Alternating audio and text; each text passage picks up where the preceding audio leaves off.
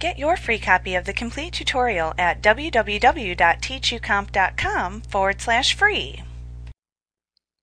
In this lesson, you will learn how to insert a background image into a web page. First, start with a new blank page and type or paste some text into the page.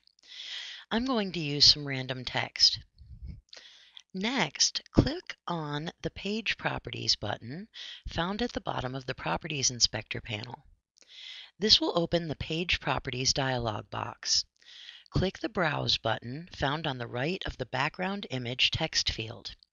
This will open the Select Image Source text field.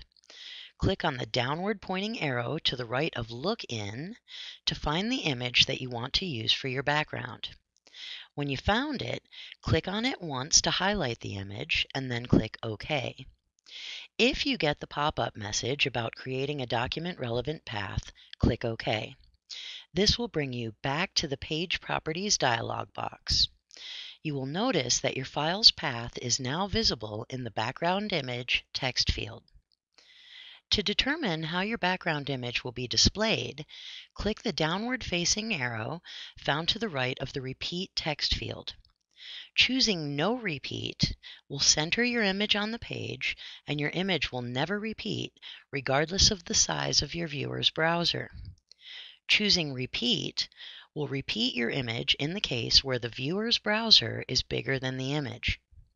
If you choose the Repeat X or Repeat Y choices, your image will repeat either vertically on the viewer's page or horizontally.